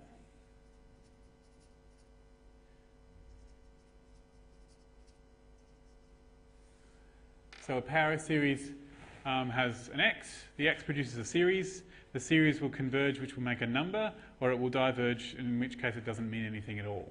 And one of the things that we're interested in is to skip the bit in the middle where we figure out what the series is, and just say directly which x's make it converge and which x's make it diverge. So in a way, we're creating a function um, from x to the words converge or diverge you've got this crazy machine that when you plug it into the X into the machine, it spits out the word converge or it spits out the word diverge. Um, and so that's a useful way of thinking about what we're, what we're about to do. Okay? Cool. Right. So there are some series that no matter what x is, it will always converge, um, like the Maclaurin series for e to the x. And there are some series, like the, um, like the geometric series, where there's a condition on x. It'll only converge if x is less than 1 and it'll diverge if x is greater than or equal to 1. And so that's, that's what we're headed for here. We're headed for statements like that, but just about random series. So we've got some series like the binomial series and the geometric series which have a statement about, depending on the value of x, it will converge or diverge. Um, we've got some series like, like e, the Maclaurin series for e to the x, which no matter what x is, it'll always converge. And we've got some random series we're going to figure out well, which category is it in. Okay? And so what we're going to have is that the interval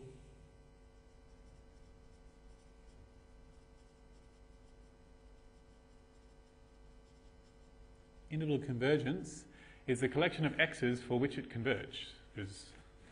So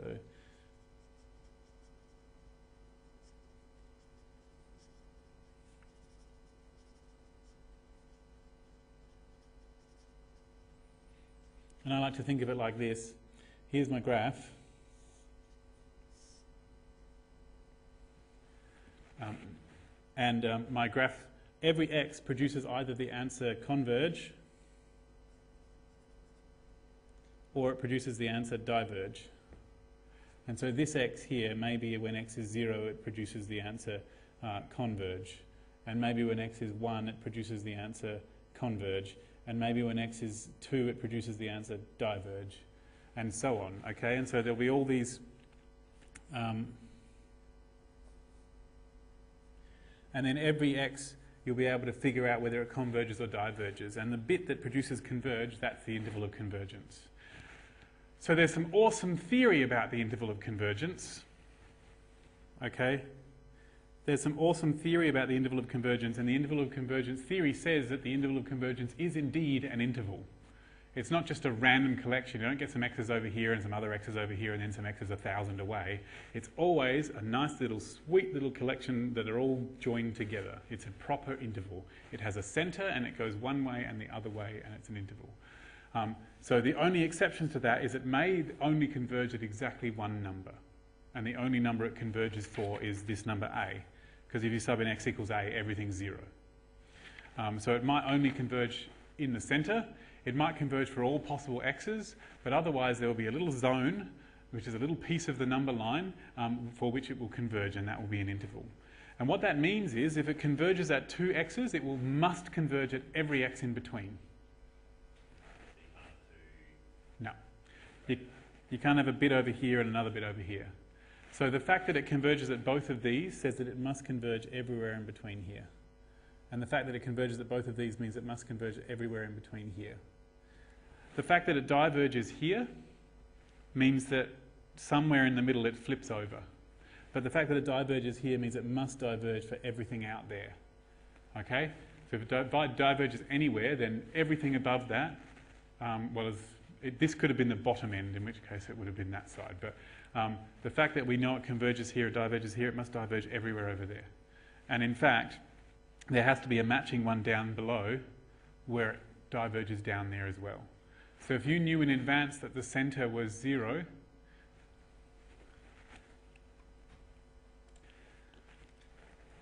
So if you knew that the centre was zero to begin with, then the fact that it diverges here means that it probably diverges over here too. You do have one um, small problem in that it is possible that if you're right at the edges, it'll converge at one end and not at the other. Okay? So it is possible that what will happen is, is that here maybe at one and a half, it'll converge all the way up to here, but it won't converge there. Something like that. Um, and, but that would mean that down here at the other end, um, it might be that it does converge at this bottom end. Like that. So this bit here in the middle, that's the interval of convergence. And it is possible that it converges at one end but not the other. It might converge at both, it might converge at neither. So that's the interval of convergence. So the fact that it's an interval actually means that there's some really cute questions that a lecturer could conceivably ask.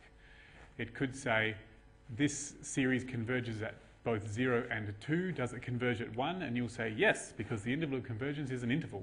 It must converge at every point in between any two points where it converges. Um, and that means you don't have to figure out anything. You can just say yes. An interval that contains both 0 and 2 must contain 1. That's sweet. I love that one. No one's yet asked it in an exam, but I'm just waiting for the day. um, so, um, and you also know that if you know what the centre is, um, you know that if it converges at, if you know that the centre is zero and it converges at seven, it will have to converge um, everything up to minus seven. You might not converge at minus seven because it could be the edge of the interval, but everything up to that, down to that, certainly. Okay, cool. So that is the theory. I have no idea what the proof of that theory is, but it is the truth. Okay? And to figure out the interval of convergence, you do the ratio test. Okay, so that is how you find it. And so there are three parts to doing the interval of convergence. You do the ratio test, you rearrange what you get at the end of the ratio test to produce the interval of convergence, except the endpoints you don't know what to do, and then you're going to have to look at the endpoints separately. And the only way to tell what happens with those endpoints separately is to use one of the other um, rules for convergence. It will usually come out to one that you can just stare at and say, oh, it's the alternating harmonic series. Okay, so you cannot use the, the ratio test on the endpoints of the interval of convergence um, because the ratio test, basically, if you do the ratio test, everything inside the interval of convergence will come out as less than 1, and everything outside the interval of convergence comes out as more than 1, and the edges come out as exactly 1. And so it's guaranteed to fail at the edges of the interval of convergence because of precisely how you found it. So let me do an example. I'm just going to look one up.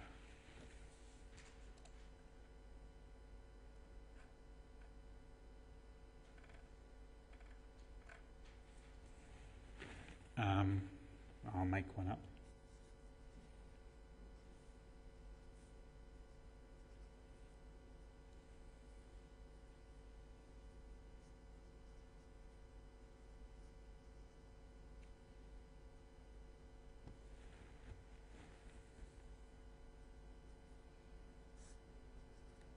There we go. This will do. 2 to the n plus 1 x plus 3 to the n over n.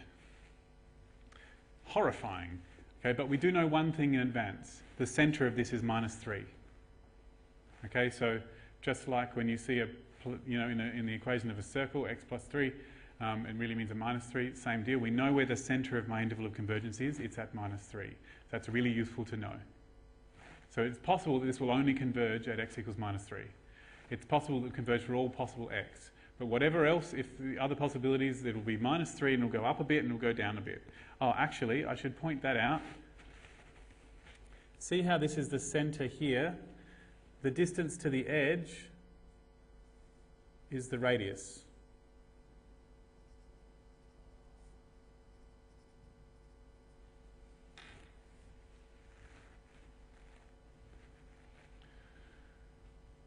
Um, the radius comes from the idea, actually, that the radius is the distance from the centre to the edge. Now, you think of radius in terms of circles, and that's because when you do this with complex numbers, it really will be a circle. okay?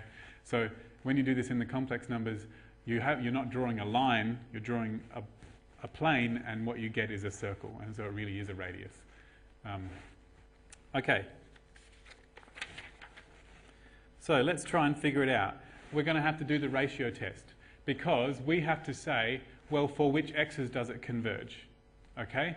Um, and I can't, for every single x, compare it to a series that I know. So what I have to do is I have to um, do the ratio test because it's the only one that won't allow, will allow me to do it simultaneously for all the x's at once.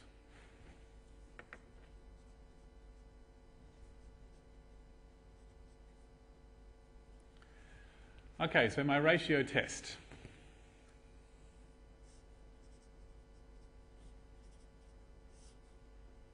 Now remember that this AN is everything, including the x's. Damn, I didn't give myself enough space. All right. It's on the next page, people.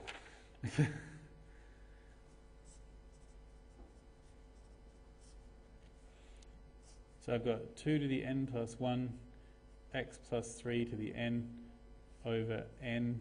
Oh, that's the bottom, isn't it? So I have to add plus n plus 1 to all of them.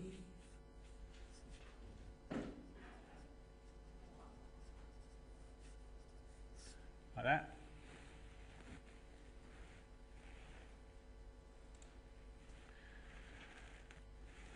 And I'm going to do my trick of flipping the bottom one.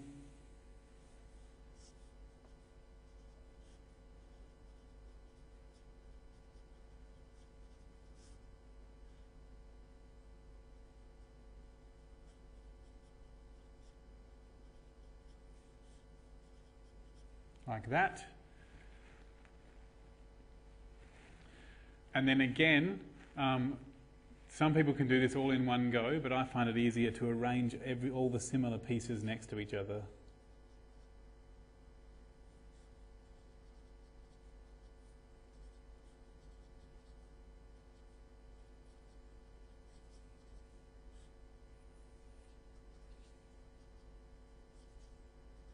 Like that. Okay, so now that everything's arranged next to each other, I can see that when I subtract the powers here, n plus 2 minus n plus 1 is 2, is 1.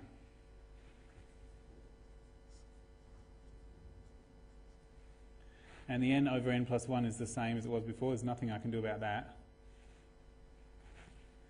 And n plus 1 minus n is 1. Because I've got, a, I've got the same bottom and when you do divide things you subtract the powers. Okay, and so here we are here. Let's deal with our absolute value sign. I can do the absolute value sign separately. The absolute value of 2 is 2. The absolute value of n over n plus 1 is n over n plus 1. But of course, um, n is a positive number. It starts at 1, so we're all good. And the absolute value of x plus 3, well, I don't know what x is, so x plus 3 could totally be a negative number. So I need to keep the absolute value sign in there. And now I need to do the limit of this.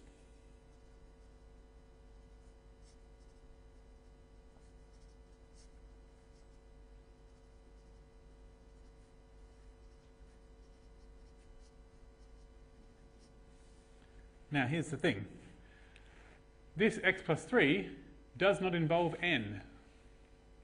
So in terms of this limit, it's really just a plain number. So I can bring it out the front of my limit. And the 2 as well. It always happens that way.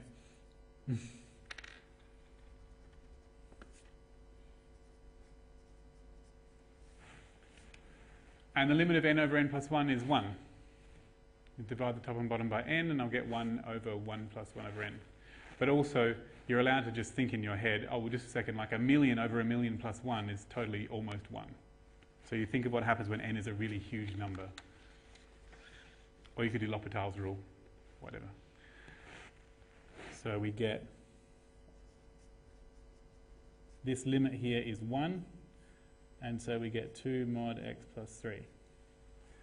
Now the thing is, Normally at this stage, when we did the, the, ratio test, we would say this is less than 1, therefore it converges, or this is greater than 1, therefore it diverges. But we still don't know whether this is more or less than 1, because we don't know what x is. But the whole point of this is to figure out what x would have to be to make it converge. So in order to make it converge, I need to choose the x's that make this answer less than 1, because they are the ones that make it converge. So I need to say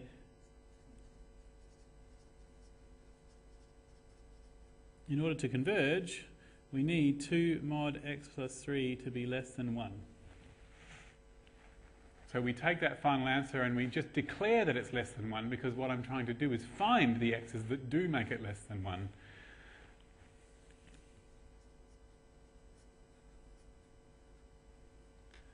And I'm now almost at the end of my road. This is a description of my interval of convergence. I'm saying, let's read this aloud, the absolute value of x plus 3 is less than a half. But there's a different way of reading this aloud. I'm going to rewrite it like this. Now we have the distance between x and minus 3 is a half, less than a half. So my interval of convergence is everything that's within a half of minus 3. So in terms of a picture of what I've created, I have created Here's minus 3, and it, this is a half away from minus 3. That's minus 2.5. And this is minus 3.5. My interval of convergence is here. Everything that is within a half of minus 3. So this is the centre, this is the radius.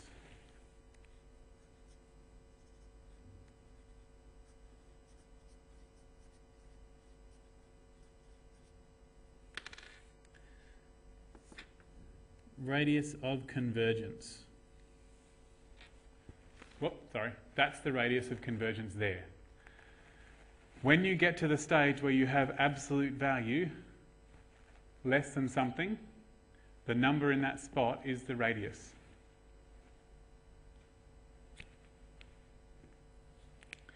If all you were asked for was the radius of convergence, you would stop there and you would not do anything else. But if what you want is the interval of convergence, we will continue. Okay? So the interval of convergence um, happens at the two end. Um, the issue we've got all the mid, middle of the interval of convergence. We just need to know whether the colour in those circles or not. So I'm going to continue. When you've got an absolute value um, less than something, that's the same as saying that the actual number is between uh, wrong number.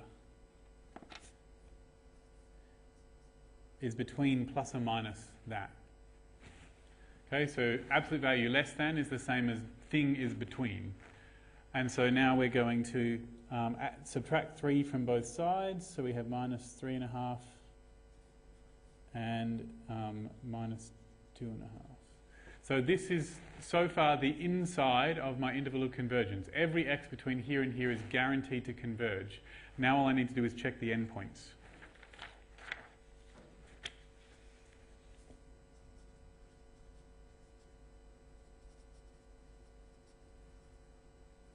So when x is minus 3 and a half,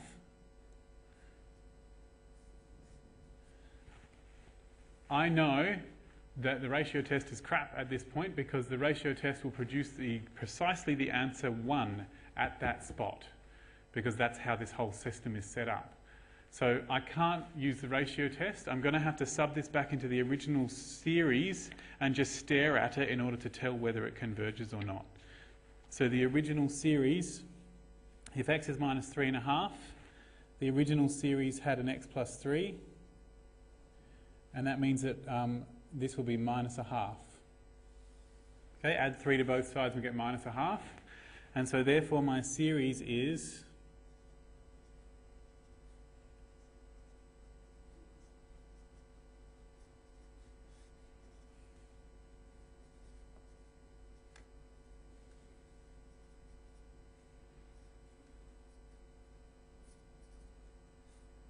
is this. Sorry. So I've subbed for x plus 3, I've put in the minus a half. And that'll always happen um, you'll actually end up replacing the entire expression that involves the x with minus the interval of convergence and also at the other end with plus the interval of convergence.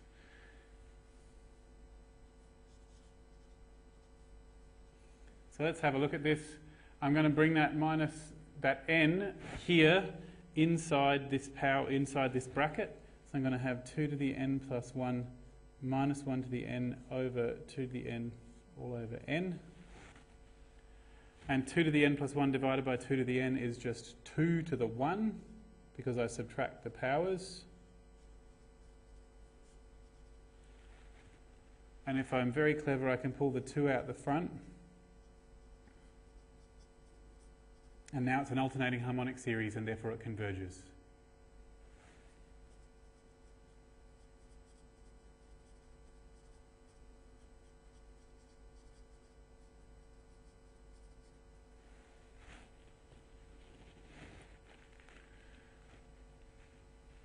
So I didn't need to do a test, I just need to recognize what that series was.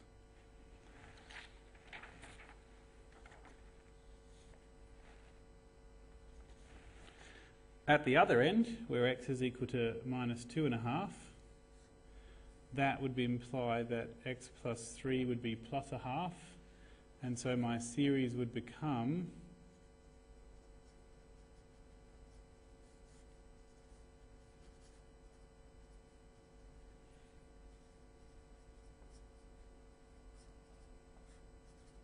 like that. And by exactly the same reasoning that we did before, 2 to the n plus 1 times 1 over 2 to the n all over n. That'll just be 2 over n, which is 2 times the harmonic series.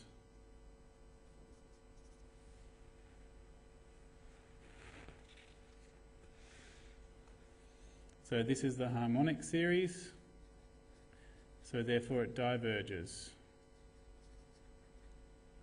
So going back to my original picture, I had this, I had minus 3, minus 2.5 and minus 3.5 and my interval of convergence so far was like this.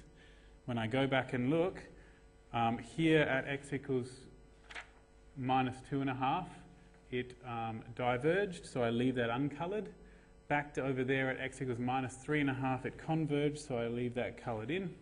And so therefore my interval of convergence is from minus 3.5 up to minus 2.5 with a round bracket at that end because it doesn't converge at that end. Remember that a, a coloured in dot is a square bracket and a, a not coloured in is a round bracket. So that's my interval of convergence for that crazy series. I do just have a what if for you. There is one situation that will happen where it's slightly different to this. So I just want to say, what if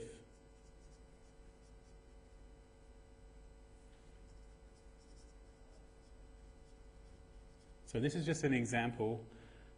For example, what if when we were doing our thing, I don't care what the original one is, I'm just going to pretend that we got to a particular point in our working.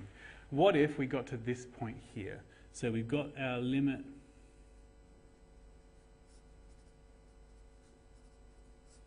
we've done our working and what if we ended up with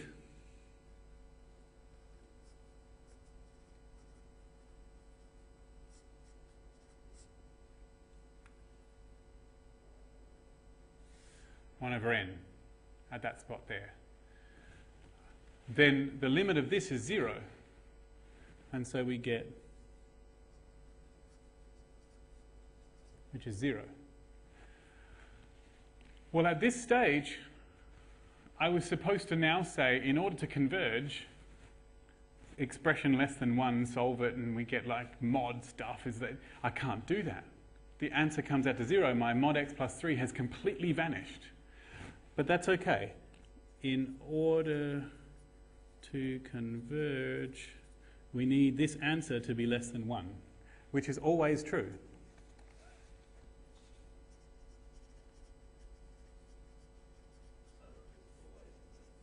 So it always converges for every possible x. So therefore, the interval of convergence is everything. So that's your sort of double bluff at the end there. Um, um, and actually that means that the radius of convergence is infinity um, because I've covered everything. Okay, so just, just wanted to point out that little, that little thing that might happen. It is just possible that at the end you'll get a time zero here, and if you do get that, that means that um, it's always converges, and therefore the interval of convergence is everything, and the radius of convergence is infinity. Um, and it is also technically possible to get to the situation um, where that limit there um, is infinity. So it is also possible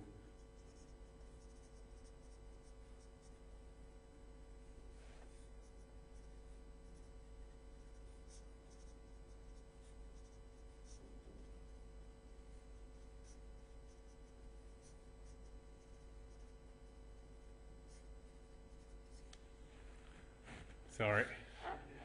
What if um, we started with this and we got some work and we got to here, the limit as n goes to infinity of 3n. Going, all oh, right, that's infinity.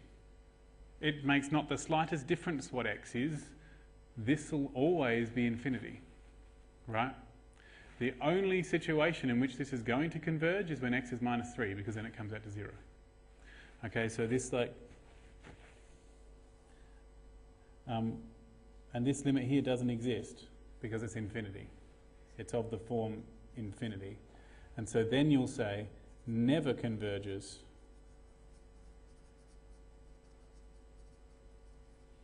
unless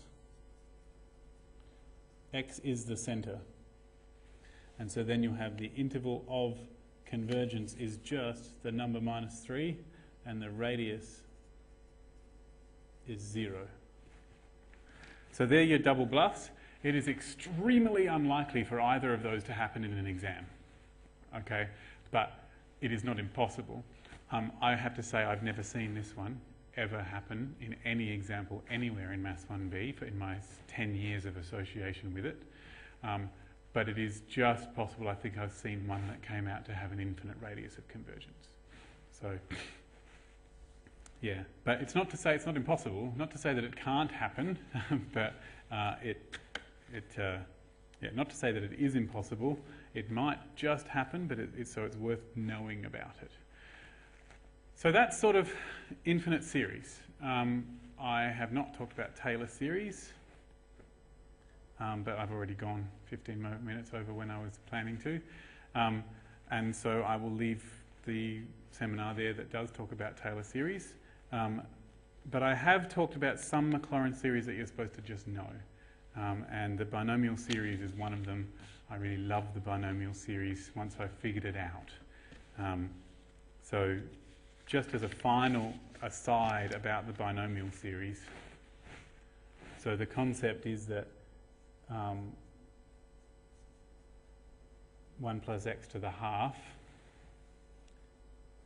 you can go 1 plus a half choose 1x plus a half choose 2x squared plus a half choose 3x cubed because that's how it always works. And then you know that a half choose 1 is always a half because anything choose 1 is the same number. A half choose 2 will have a 1 times 2 on the bottom and a half times, and we'll subtract 1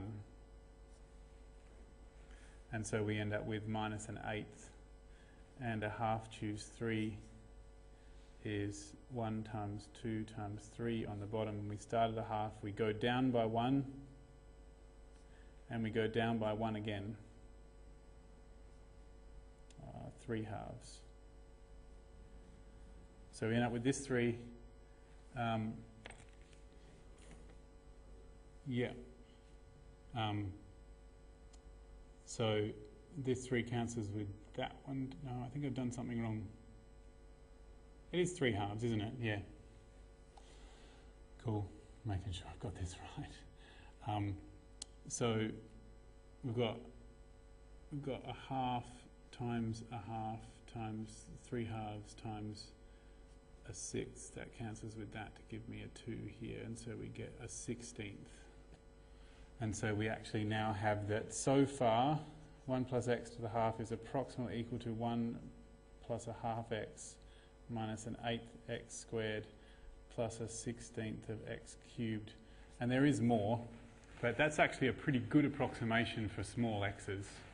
I mean, it only works when x is less than 1 anyway, um, but it allows you to approximate um, the square roots of things that are um, quite close, that are close to 1 anyway. But the decent thing about it is that the square root of anything can be rewritten as a multiple of something that's a square root of less than 1.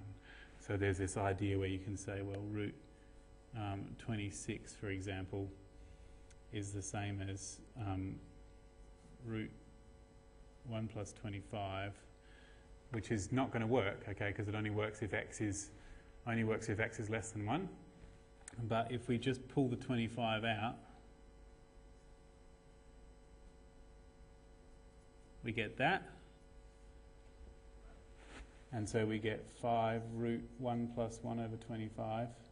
And now that's 5, 1 plus, and this can be my x. So it's a very, um, and it's a very neat trick. Uh, and, and it's one of the things that they show in one of the assignments. Um, but yes, it's a, one of the Taylor series you're allowed to just write down. Something like I mean calculators these days have even more efficient methods of doing things than that but pretty much when when they first invented them they do that. But some of them some of them I think even this is really the best that they can hope for.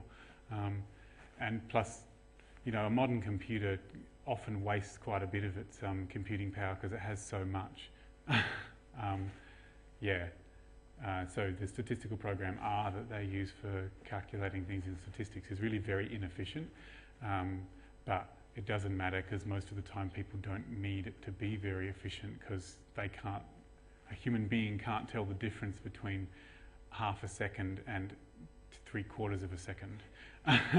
so, um, yeah. That's right. And so the big data people, now that big data is famous, the big data people need things to be really efficient. Um, but the, most of us mere mortals can use pretty inefficient things. Um, and so Taylor series is one of the first best things that you can do. Yeah.